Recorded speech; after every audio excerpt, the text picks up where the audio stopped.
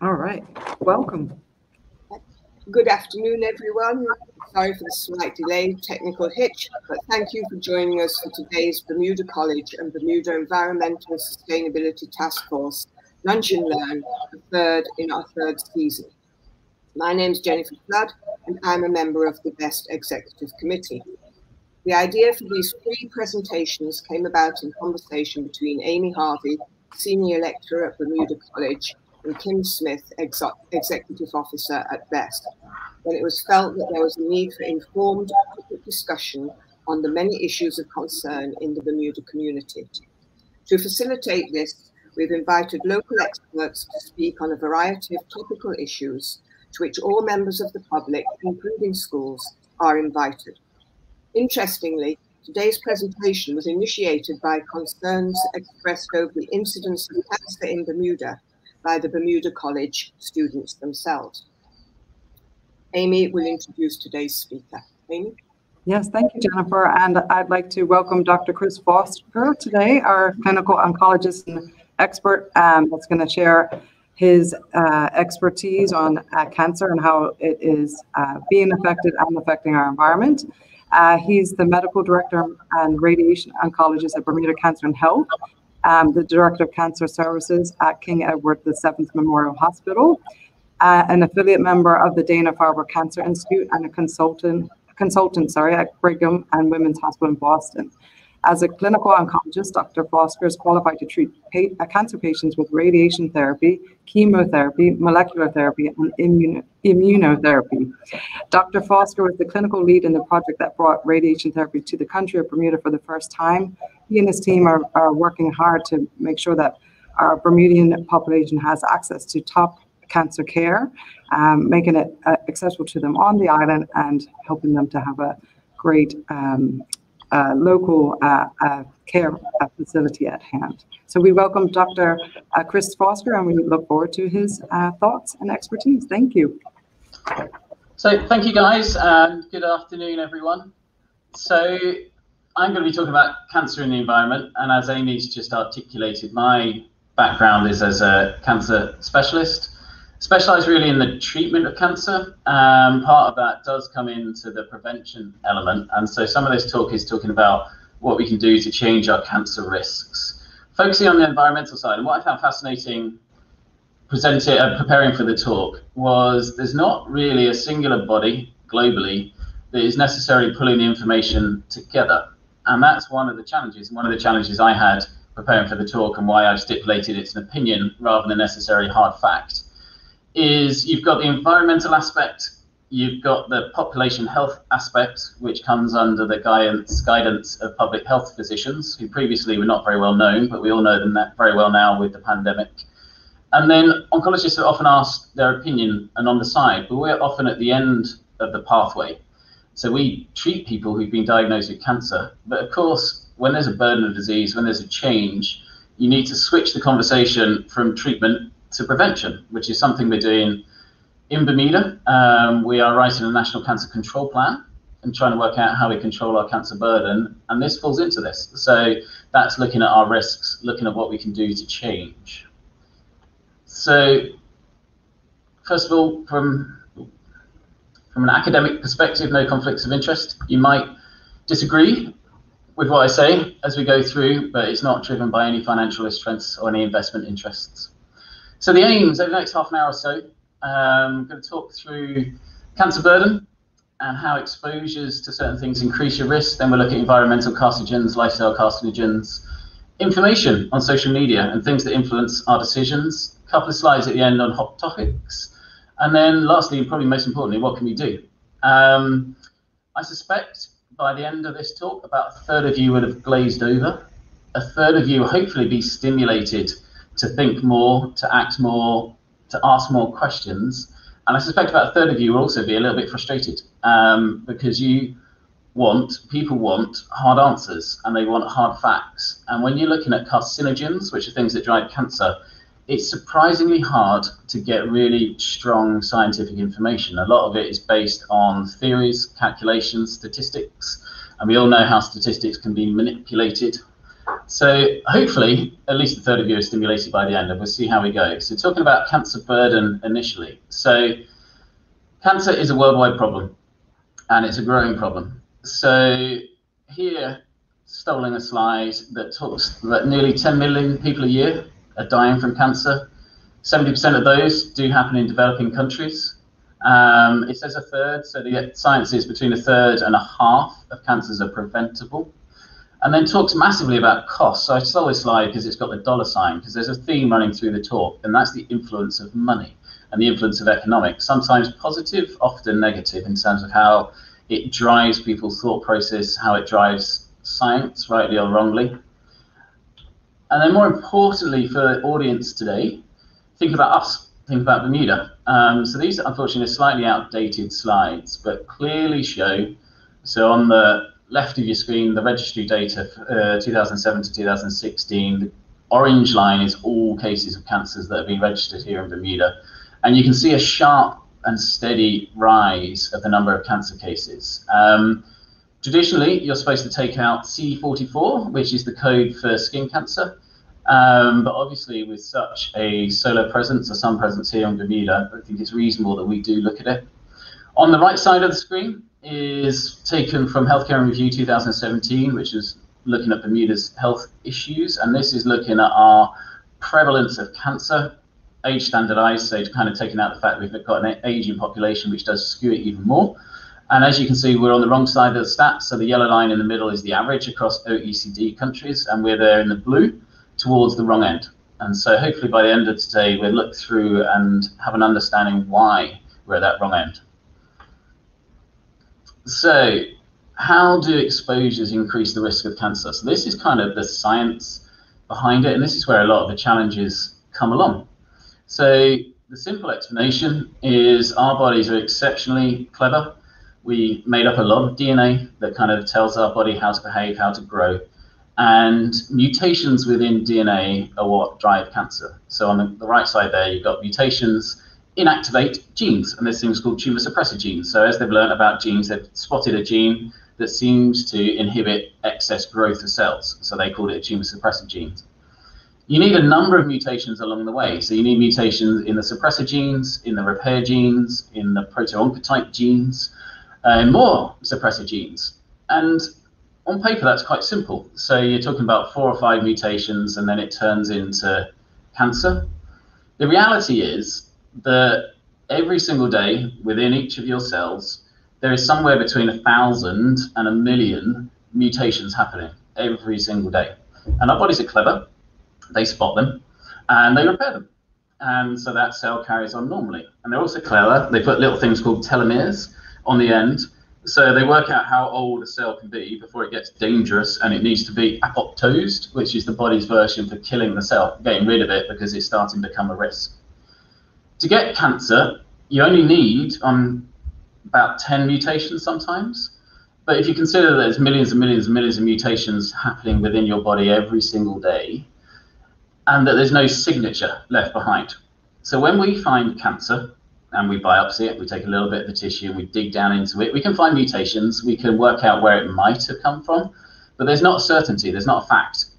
Even though we know, and everyone knows, and I'll talk about it in a minute, that smoking drives lung cancer. It counts for about 90% of lung cancer. You could be sat in front of someone who has smoked their whole life and they've got lung cancer, but you can't actually say with certainty it's the smoking that caused it. It's probable, and again, that comes back to statistics, which is always a challenge because they can be manipulated. So when, when we talk about carcinogens, which is the term for things found in the environment that can drive cancer, we know in the factual sense that there are a number of carcinogens that cause human cancer. And we know there's lots and lots of other things that probably cause cancer. But what we don't know is each individual cancer, which mutation happened. Was it a mutation you're born with? Was it a mutation you picked up along the way because of how you've chosen to live? Was it a mutation that happened because you've been exposed to something that you have no choice with exposure, like the sun, can't avoid the sun? Or was it something that just happened anyway because your own body just missed something?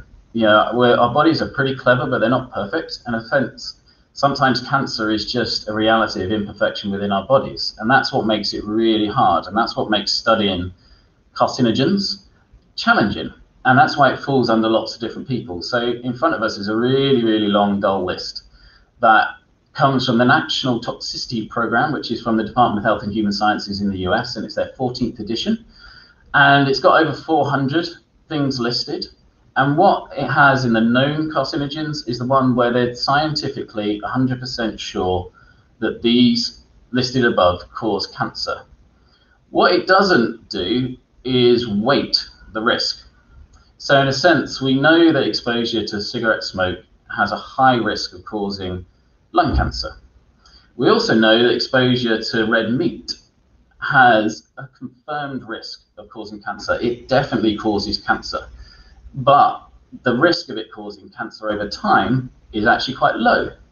So again, when you look at the one at the top there, so just highlighting a few, which we'll come back to, so alcohol. So alcohol definitely causes cancer. And yet we don't see too much in the media, we don't see too much pressure to get rid of alcohol because we know it causes cancer, but the chance of it causing cancer is relatively low. And again, it comes to manipulating statistics. So if they look at people who've never drunk and then they look at people who drink a moderate amount, there is definitely a scientific difference, statistically different, between how long you're expected to live and whether you're expected to get cancer or not. But the numbers are relatively low. If you just look at lifespan, it's kind of six months difference over the age of 80. So you can say if you don't smoke, you might live to 81 and a half. Sorry, not smoke, drink. If you don't drink, you might live to 81 and a half. If you do drink, you might live to 81. And when you look at it really simplistically, that suggests that it's six months at the age of 80. I might not be too worried about that. Right now, I might go home, celebrate surviving this talk, and have a glass of wine, and that's the kind of choice I'm making. Again, statistics can be interpreted differently. Six months doesn't sound much, but actually, the reality is that six months comes from 20 people living to 82, having drunk, one person dying at the age of 60 from cancer that's come around from alcohol. And suddenly, the thought of dying at 60 because I go home and choose to go, have a glass of wine is a little bit more scary and a little bit more concerning. And that's when it becomes hard and it becomes choices. The other ones I'm going to talk about, as listed there, so viruses. I'm sure everyone is fed up of talking about viruses, but we can't help it because there's lots of viruses in the world and there's been lots of them around for a long time, uh, and lots of them cause cancer. And then we could talk about radon, solar radiation, smoking, aromatic hydrocarbons, and then we are briefly going to talk about how sugar has never made this list, which goes against what a lot of people perceive. And that's when we're going to come around to talking about perception and understanding science and interpreting science. So, environmental carcinogens starting off relatively dry, we all know um, that sun uh, causes cancer. We also all know that we can't really mm. avoid it. You know, we can't turn off the sun or else the world would die. So we have to learn ways to live with it and mitigate it. So the mechanism for sun causing cancer is relatively straightforward. The sun comes down, the UV rays snap DNA, and they do what's called double strand snaps, breaks, and they're not repairable. So over time, eventually one of those double strand breaks within the skin will be in a pathway that leads to cell proliferation and leads to cancer.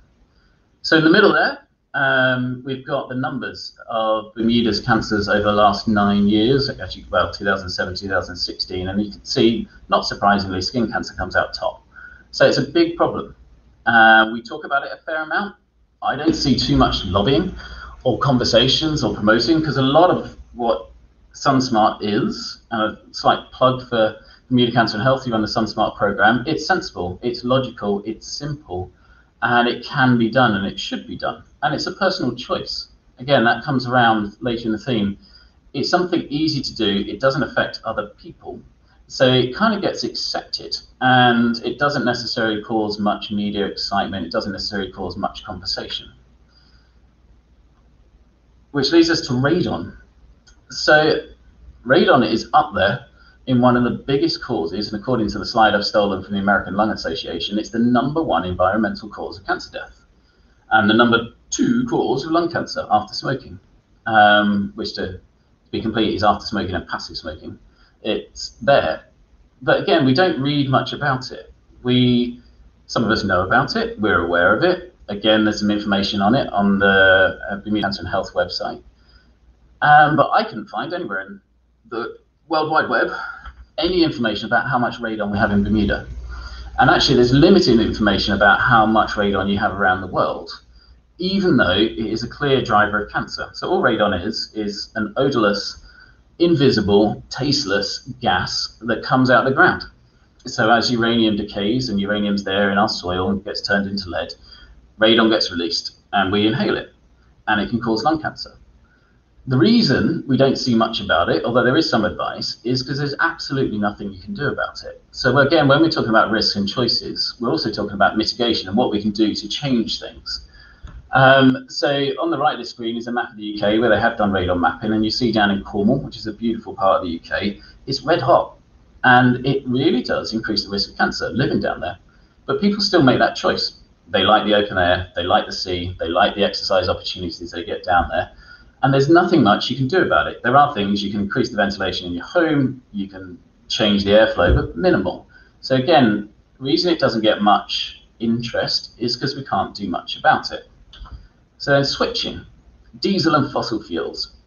So I suspect as this talk has been put together by an environmental team that you guys probably know as much about this as I do. So diesel and fossil fuels are linked to cancer. Interestingly, they don't make the top list. They don't make the definite. They make the probable, which is when we come round to mitigate um, manipulation of science, and it's when we come round to population science. And this is the challenge when you're trying to prove something that is everywhere, when you're trying to prove that it actually causes cancer. So the challenge with diesel and fossil fuels is that you can't really do a controlled study. So you can't take a thousand people and give them no diesel or fossil fuel exposure, and a thousand people and give them lots of diesel and fossil fuel exposure, which is when you run the challenge of comparing things that are seen in labs compared to things which are seen in real life. And often, what you see in labs doesn't correspond to what you see in real life. And then with this example, you can't recreate this. Firstly, ethically, you couldn't sit a thousand people down and just pile them full of diesel and fossil fuels. And also, the other thousand, you can't take them away completely. So you end up doing what's called population studies, epidemiological studies, where you're looking at people living in cities and comparing them to people who live in the countryside. And so then you can work out what people in the cities exposed to, what's their cancer rate, and you see higher rates of cancer. So fossil fuels have been linked, or people living in cities have seen more lung cancer, lymphoma, sarcoma, skin, bladder, breast, esophagus, laryngeal, myeloma, and prostate cancers. And so then you jump to the conclusion that's because of diesel and fossil fuels.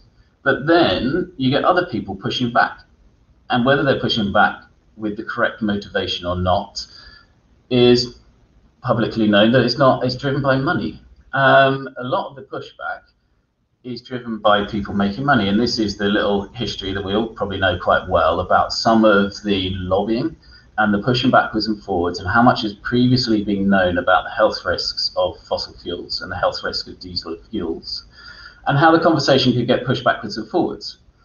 And the scientists employed by Exxon et al. are able to point out that as well as having more diesel and fossil fuels within cities, you also tend to have a different diet. You tend to have a different exercise regime. You have different levels of economic wealth, and you have hundreds and hundreds of other differences. So they're able to highlight that one big difference might be fossil fuels and diesel, but there's lots of other differences, and therefore their argument is you can't prove that it's definitely that that is the causality. And that's one of the big frustrations and one of the big challenges whenever you're trying to make change. And despite the fact there's overwhelming information, overwhelming knowledge about the risks of fossil fuels, the risks of diesel, you still see, so bottom right hand corner, um, one of my favorite little left wing newspapers last week or week before highlighted that despite all this knowledge, and despite the fact we'd like to move to much more electric, we're still seeing financially driven decisions that are changing the environment we live in. So I won't go into it too much, but it's quite hard to follow why the UK government have switched, where they're promoting people buying electric cars, and now they're pulling back on that.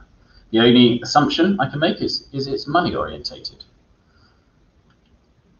So switching on. So I'm going to move to lifestyle. So the first couple of lifestyle ones are connected to environmental and lifestyle. And again, slightly using the opportunity because lifestyles are ones we can change and ones we can do something about. And they are our environment that we are choosing to live in, and as well as the interaction between how people behave and how people behave around us. So, as we talked about at the start, we have too much cancer, full stop. We have too much cancer in Bermuda, and we probably have too many preventable cancers. And the stats are somewhere between 3 and 5 out of 10, 30 to 50% of cancers are preventable or driven by lifestyle. So we've already talked about the sun.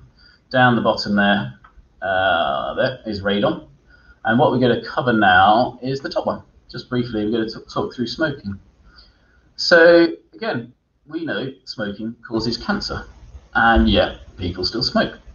Actually, Bermuda does quite well. So again, this is stats taken from a while ago. So the STEPS analysis was performed by the Ministry of Health, and it's looking at our lifestyles, and it's a fascinating read. And it was updated in 2019 and due to be published about this time last year, but then this COVID thing happened, so it hasn't happened yet. But it's looking about things that we do that can impact our risk of any disease, but any disease includes cancer.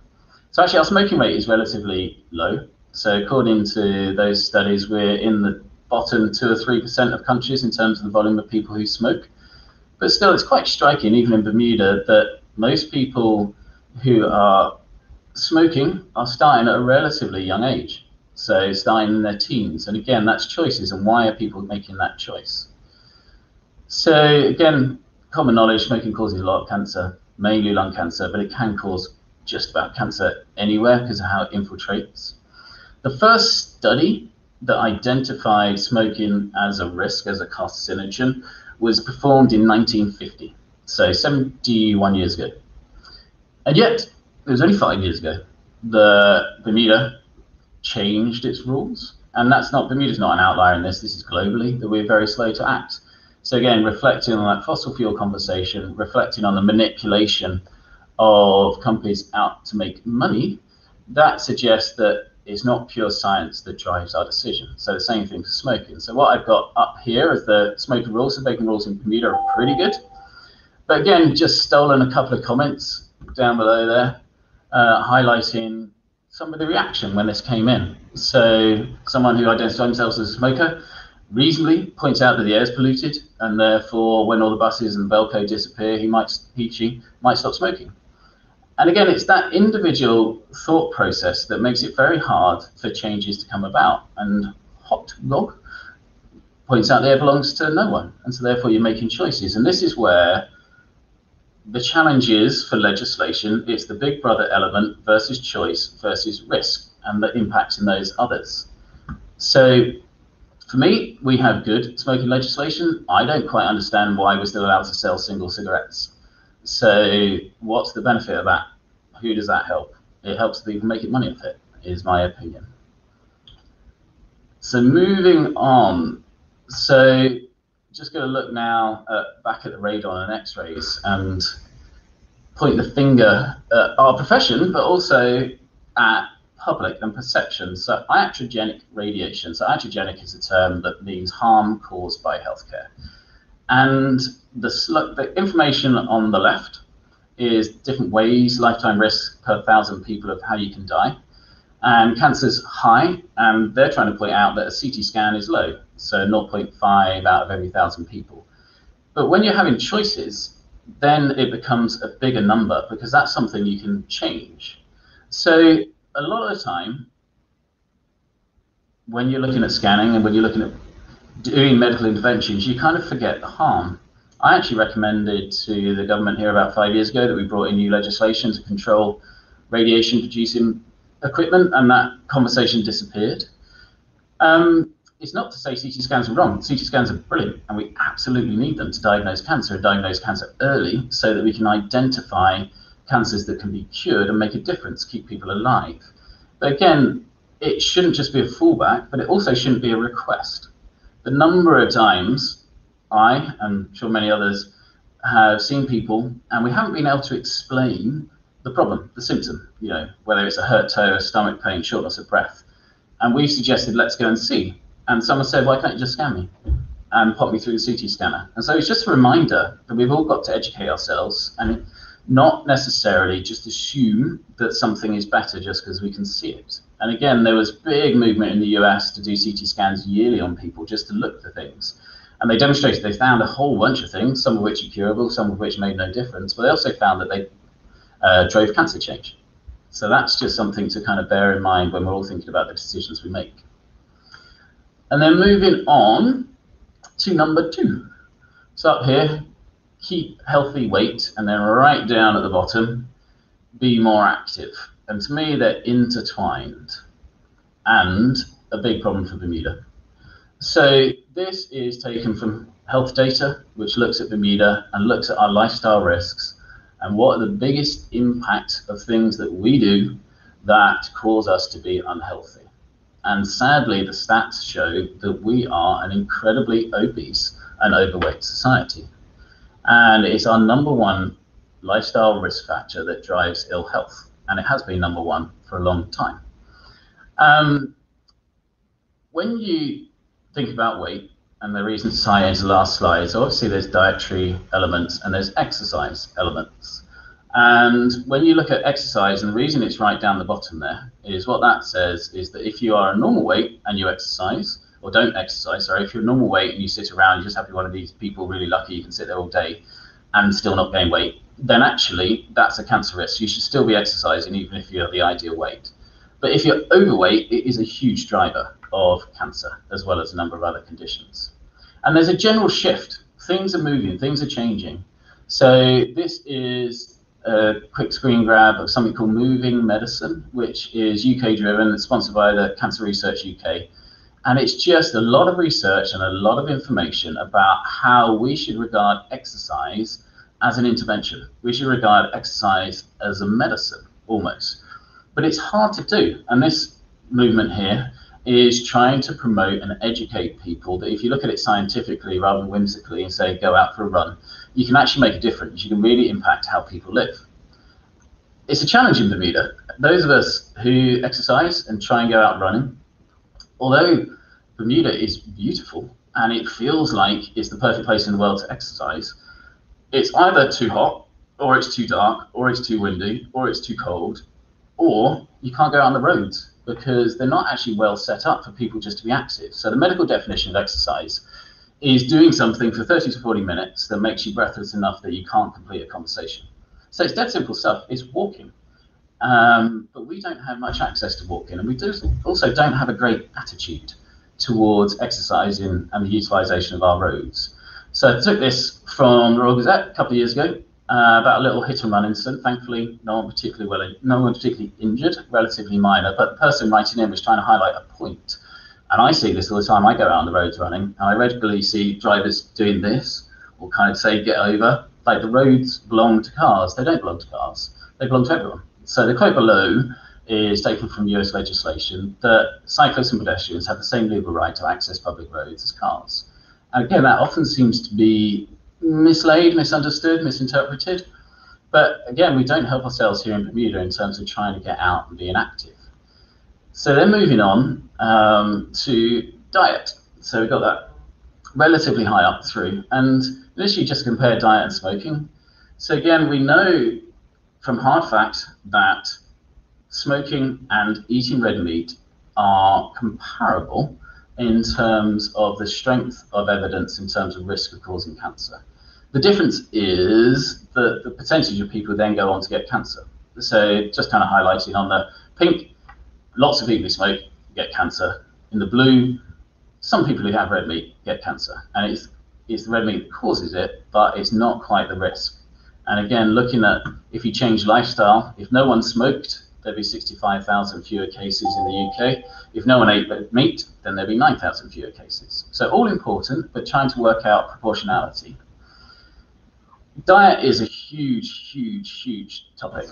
Um, to really simplify it, we need to eat a lot more fruit and vegetables. So initially the evidence came out that five times a day. Unfortunately, for those of us who struggle to do five times a day, the evidence has been bumped up to 10 times a day uh, 10 portions a day, so rather times, that we should be eating fruit and vegetables and emphasizing that it really should be fresh because again, the challenge is with a lot of the stuff that comes in, we don't quite know where it's been or where it's been grown. And so that, to keep it simple, um, that's the overriding advice we tend to give from oncology, is making sure it's fresh fruit and vegetables.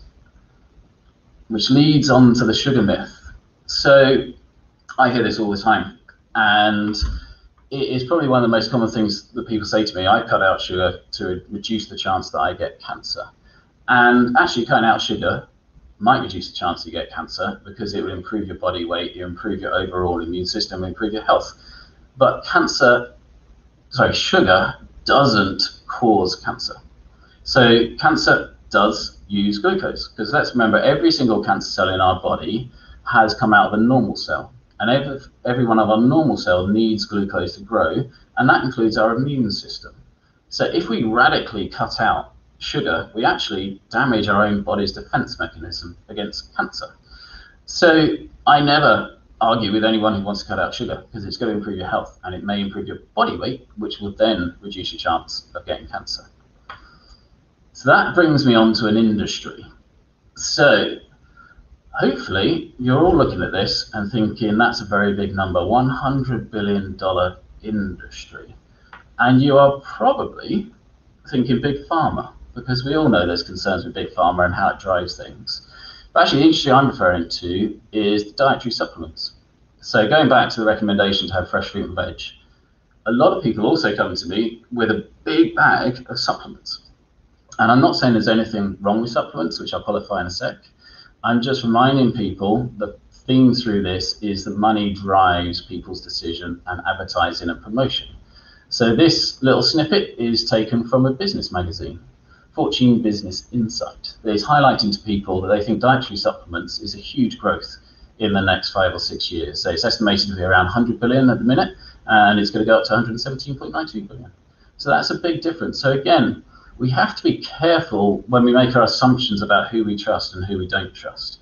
And that's when we should start to use information that we appreciate and we trust. And this is one of my favorite websites. So a lot of people talk to me about Moringa, and I think Moringa is great. The reason I think it's great because I read about it on the Memorial Sloan Kettering Cancer Center website that has a huge database about natural therapies, about herbal therapies and it goes into great detail and it goes into language that I understand. So I'm not saying you have to use this, but in it, it has sections for healthcare professionals. And it has clinical summaries, and it highlights that in preclinical, ooh, excuse me, in preclinical studies, that moringa from the leaf, from the seed, from the root, has got anti-cancer properties. Uh, but then again, it highlights at the bottom that this hasn't been translated into humans and needs to be looked at carefully but the reason that I'm quite happy with it, it's also not been shown to be harmful. So it probably benefits. It hasn't been proven, and therefore it's reasonable to use and consume. Which again, so Amy's looking at the chat. If anyone can name these, I'll be impressed. So this is kind of back to big pharma conversations. So we've got five organic um, products in front, and they represent five plants and you probably recognize the one on the right. And again, Amy can give out awards for anyone who's sending through the correct names of the other four. And the reason I got them up is all of them, so Pacific Yew, Happy Tree, American Mayapple, Madagascar Periwinkle, and marijuana, have been shown in studies to help cancer.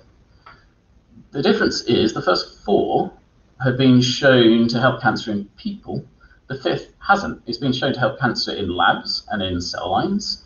The other four are four of the most commonly used chemotherapies that we have. So paclitaxel, topotecan, etoposide, vincristine. They are four of the top 10 used chemotherapies. And there's a perception that chemotherapy is bad and it's driven by big pharma. It's not always the case. So a lot of what we use have come from natural products. So paclitaxel comes from the Pacific yew tree. Docetaxel comes from the European yew tree and it's pulling out that information and working out where we get that information from. Which kind of leads back to the term integrative oncology, which is where we try and integrate traditional science with lifestyle science with complementary science. So now I'm going to talk about viruses. and we should recognize virus by now because it's everywhere we go. And unfortunately, viruses are in the environment and they're not really a choice. So this possibly should have been within the environmental section, but it's driving to the decision section of the talk. So cervical cancer, 98% of cases of cervical cancer come from the HPV, human papillomavirus. And it's been shown that there's a very effective vaccine against HPV. And if you vaccinated 70% of the world, you'd save 180,000 lives. And most people affected by cervical cancer are young women. And the reason for the gold tablets is we're always talking about a magic bullet in oncology, something to cure cancer. Rather than curing it, preventing it be better. So why in Bermuda is the uptake only 30%, despite the fact it's accessible to all and it's free? So that comes to information sharing on social media and decision making and outside influences. So how do we make our personal choices? What do we base our information on? Because we're all educated differently. We're all taught to think differently. And that's good because we're all unique. Um, but there's a common theme that's kind of happening at the moment. And that's the term science and the term fact and what people are trusting. And so again, picking on scientists initially, this came out day before yesterday in Nature, and it's a news feature, so it's an editorial. And it's highlighting now that, particularly in the COVID, so you're seeing so much literature coming out, that there's actually companies producing fake science and getting it into what we call scientific journals. And that's very challenging to think about because we tend to read them and trust them. But then they get circulated. And what I find interesting is why certain stories really hit the headlines. So looking at Facebook, social media, so dangerous fake health news conquers Facebook. So the most shared and liked commented article in Facebook in 2016 was about dandelion weed and how it can boost your immune system and cure cancer. And I find it very intriguing. I have no answers. Why was that the one that was shared the most? Why did it catch everyone's attention? Now, dandelion's great. We actually have dandelion on our giving wall at Bermuda Cancer and Health. That's one of the things that represents that it does make a difference for cancer. And again, it's been shown in cell lines that it can have effect against things like melanoma and leukemia and pancreas and colorectal.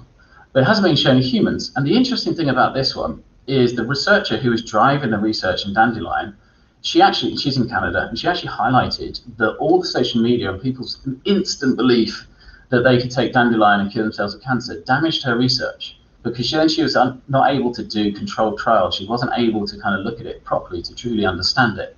So though it's interesting, it's good, it also has lots more knock-on effects than people kind of appreciate. So back to HPV. So these are the top five Facebook shares of HPV in 2016. You can see a complete split. So down the bottom, you've got things from the BBC and New York Times suggesting that it makes a positive difference. Up the top, you've got what I regard as kind of sensationalized headlines talking about deadly scan and how experts suddenly come out and say something against it.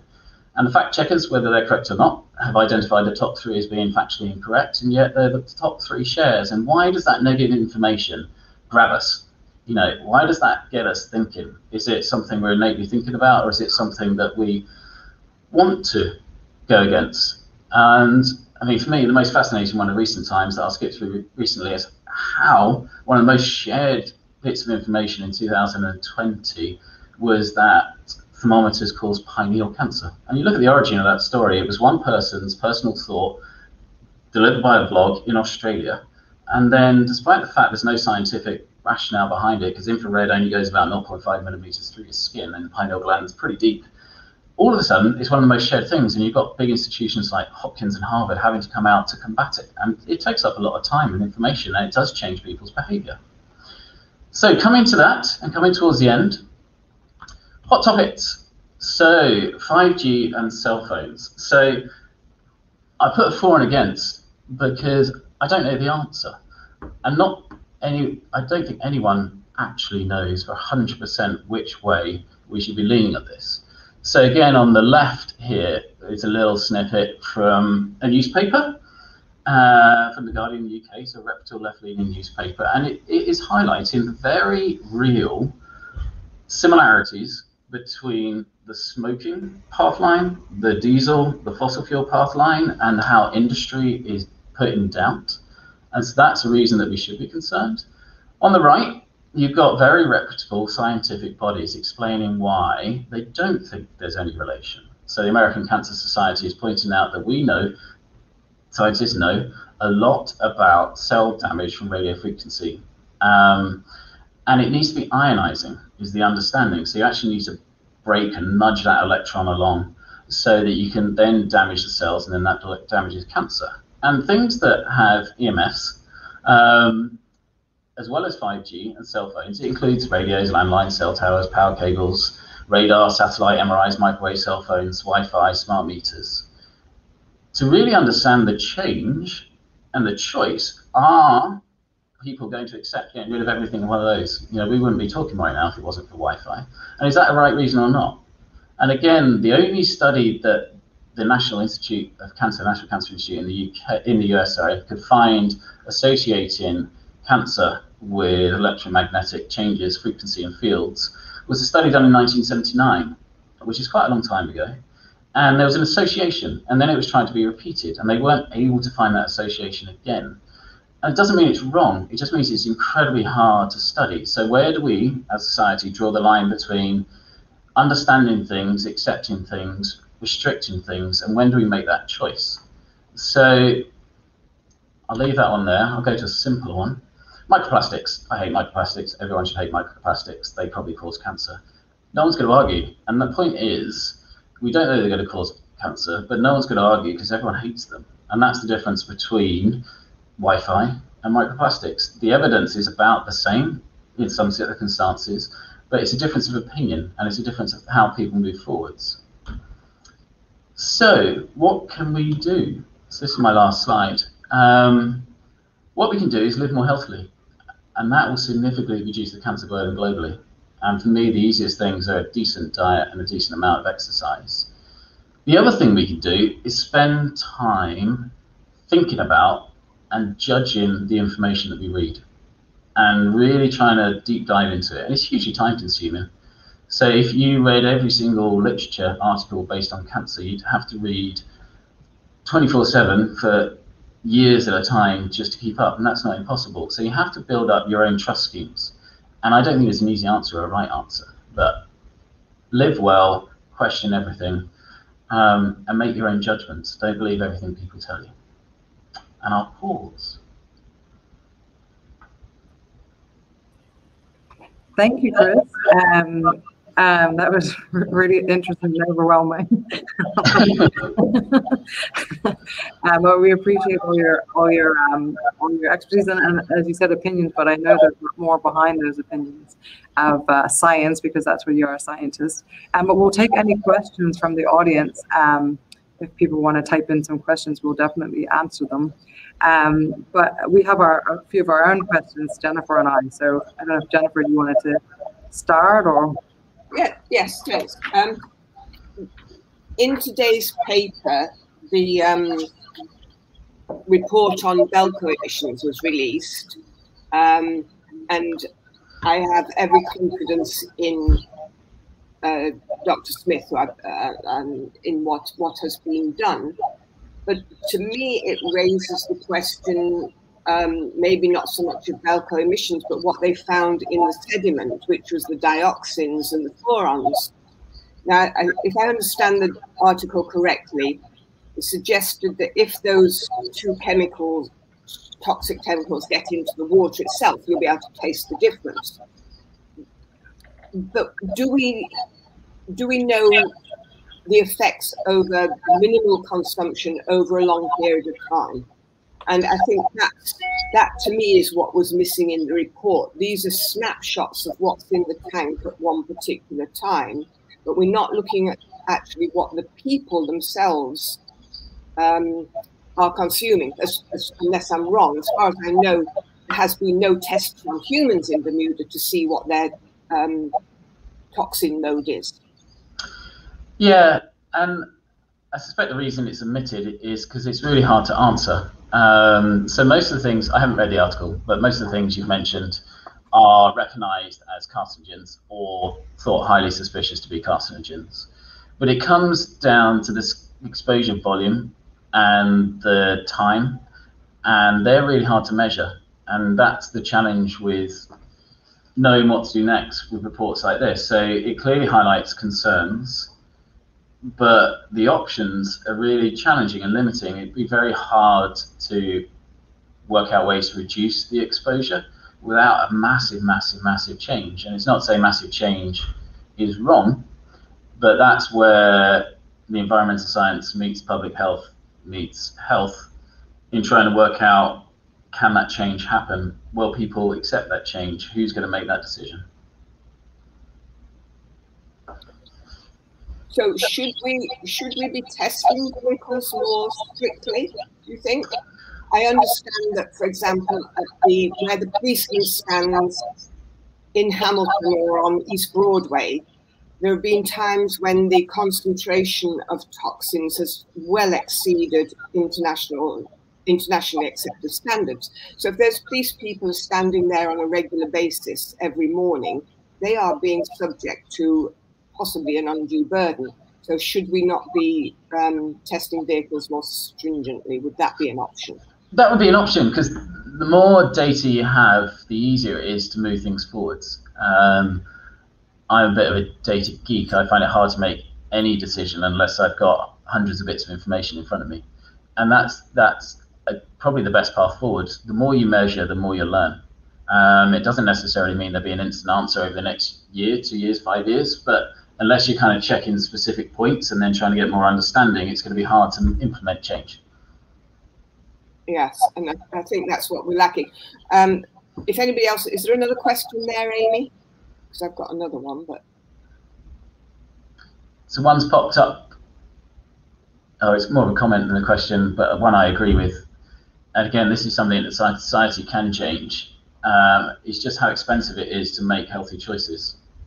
Um, and that is a huge challenge, and it does come around to big brother control. It comes around a little bit to how you tax and how you price. And that's a hard decision. So I totally agree it, the most healthy way to live is also the most expensive, which then drives health inequality. Uh, and we've got huge problems with health inequality.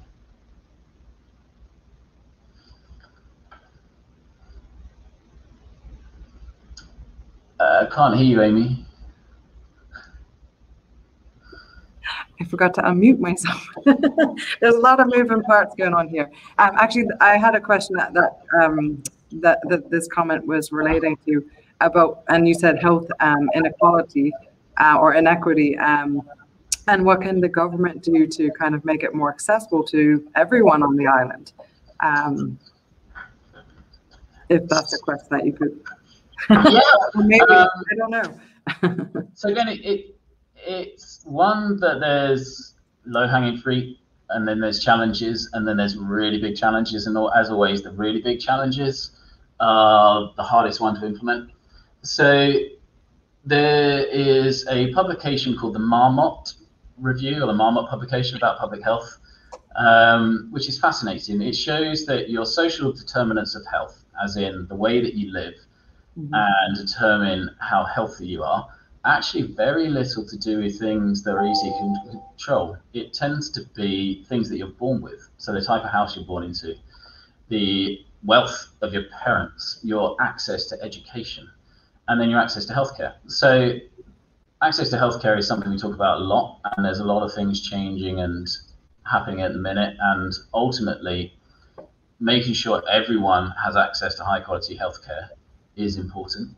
But equally important is making sure everyone has access to high quality education. Um, everyone has access to exercise.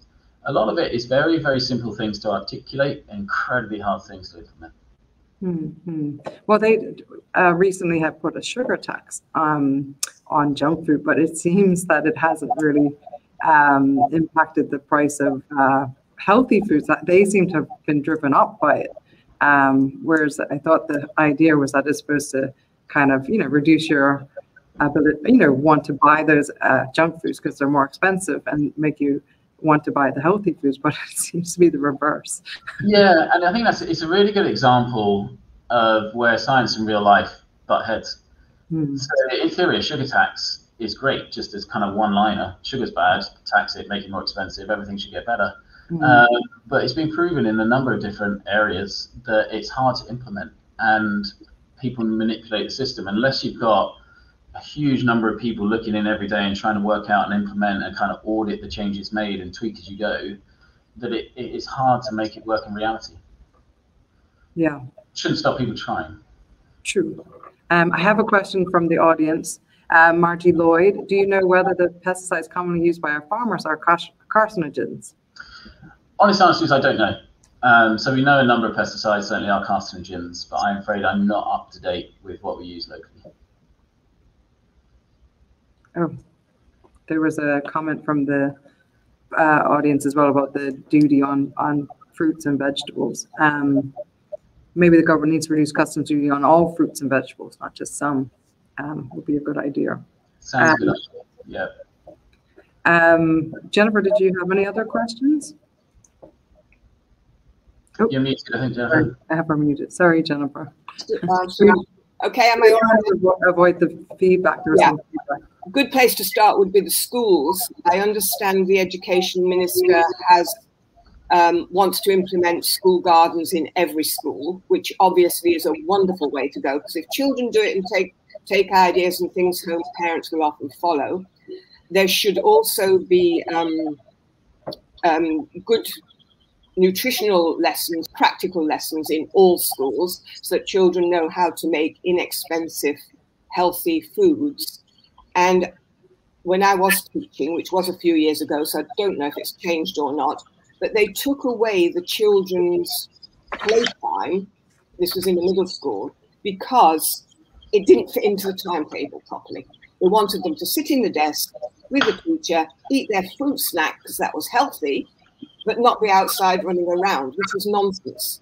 Um, so instead of decreasing the amount of activity in school, they should be increasing it. And, and those three would be relatively easy to implement, I feel. Yeah, absolutely. I, I um, remember being at school, it's not that long ago. Um, but they switched PE in my timetable. It, it almost felt like PE was a luxury and that it was kind of a way kids have a little blowout and it wasn't really needed for life. And so, yeah, we lost PE for science, which really irritated me, even though I ended up being reasonably sciencey. Um, but again, it's those kind of decisions that people make based on, I'm sure the person who wanted more science had very good reasons for it, but it's remarkable how many knock on effects there are. And yeah, undoubtedly improving our kids' education and our kids' lives, getting them exercising, getting them eating healthily is going to help. Um, again, the skeptical side of it is to see that change takes 20, 30 years. And people don't have patience. People want answers right now. They want facts and they want a change tomorrow. But the most important changes take years. True. Yeah. So I was surprised, uh, Chris, that you didn't have on your hot topics COVID, not to bring it up over and over again but you can't avoid it. And I know, well, we don't know maybe, but COVID doesn't cause cancer. But what have been the impacts on your uh, approach approaches to cancer treatments this year, and you know your your patients and whatnot with COVID? It's been huge. Um, I think pleasingly, it's probably been less in Bermuda than in most countries. Um, I think, like everyone, the impact has been it's exhausting it's relentless. Every time you make a decision you know used to make 50 100 decisions a day and it now feels like it's 500 a day because every time you decide something you've got to add in that extra information. Mm-hmm. um, the fear and the global conversation is people are accessing healthcare less at the moment because they're very fearful of going into healthcare and they're attributing things or they're hiding away things to put it into back of mind saying after covid i'll get that checked out which is obviously very dangerous across the board, particularly in cancer, um, because picking up cancer early is important.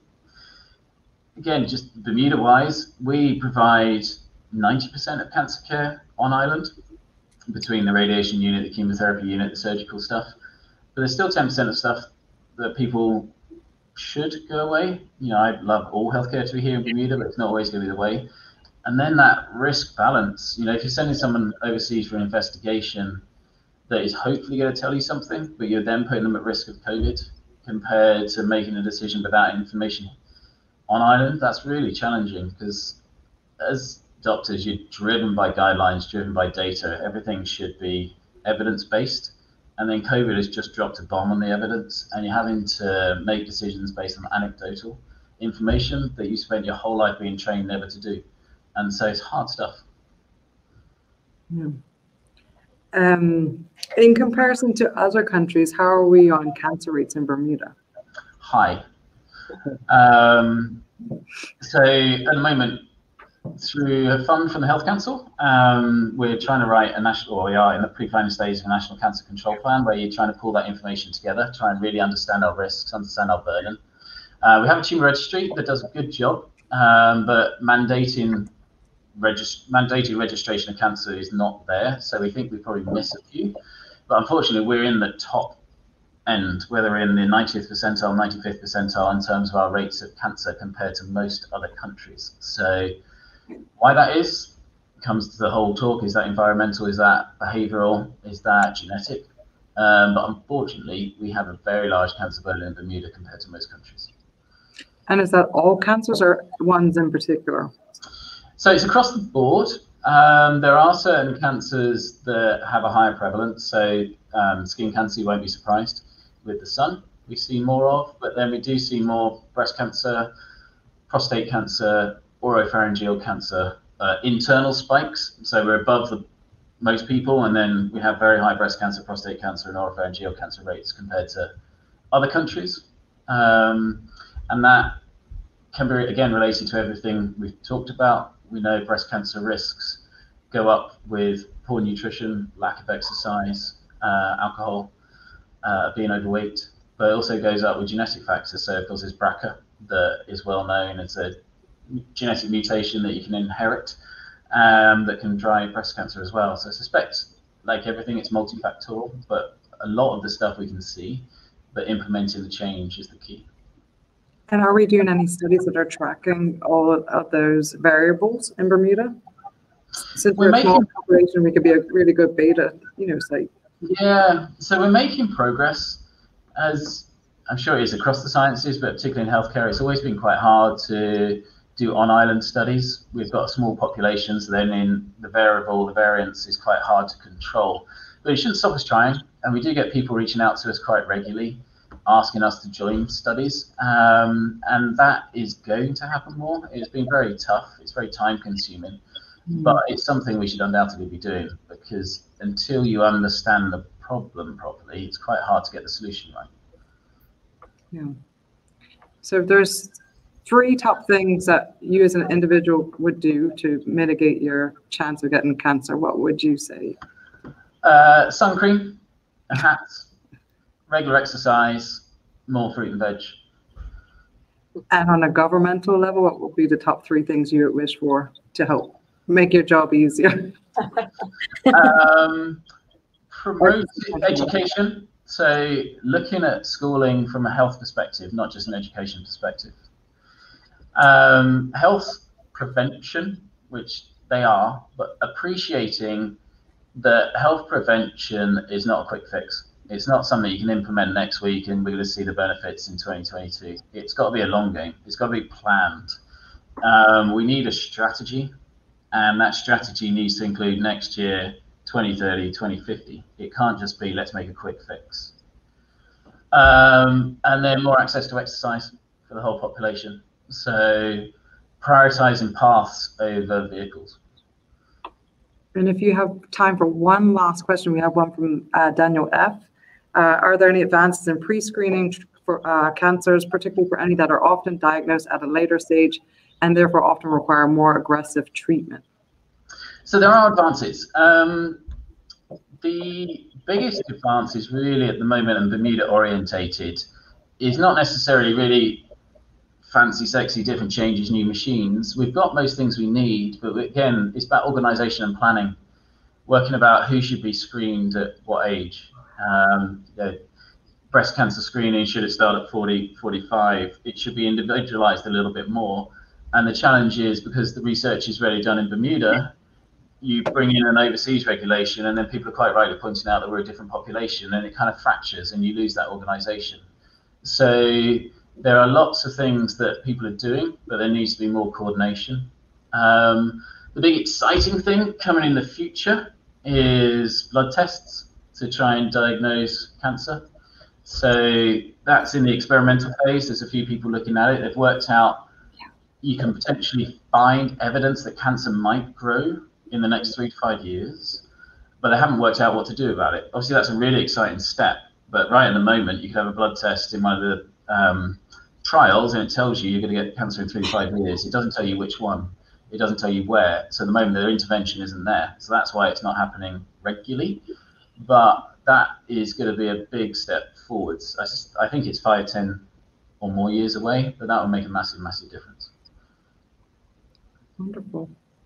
Well, I see time's up and I know you have a lot to do, a lot of lives to save. Um, so we really appreciate your time and to echo um, the comment. Thank you so much. Um, it's been very informative and hopefully people have some um, things in their toolkit to help reduce their chances of getting cancer and um, at least we know that we have um, someone on island who will take good care of us in the event that it does happen. I hope, hopefully not. no, no one really wants to meet me at work. It's no. Yeah. so we appreciate Dr. Uh, Fosker and uh, thank you for your time and your expertise. You're welcome. Thank you for the invite. Thanks. Right. Right.